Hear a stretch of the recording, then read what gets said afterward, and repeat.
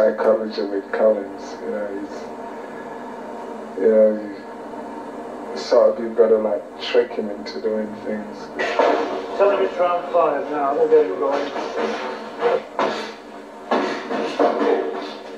They're in there to learn.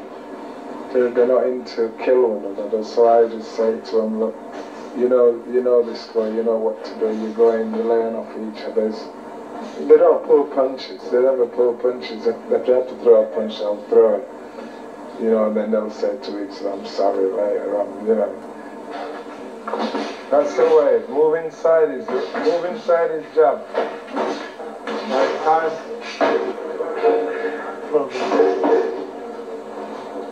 Collins has been my main sparring partner, you know, and he's, he's a good boxer, so, you know, you, you learn a lot in sparring such as him. If sparred with someone so long like I, I can, you know, we, we sort of go together, you know, in sparring, you know, I know when to, to do, do, certain things to Collins, you know, like I'll push him certain nights and we'll take it steady other nights, you know. Some rounds are hard and some rounds are easy. It, it, it works itself out. He's, he usually gets fitter than I do, you know, so but it, it benefits me as well. Down that the Wabby's pretty little face.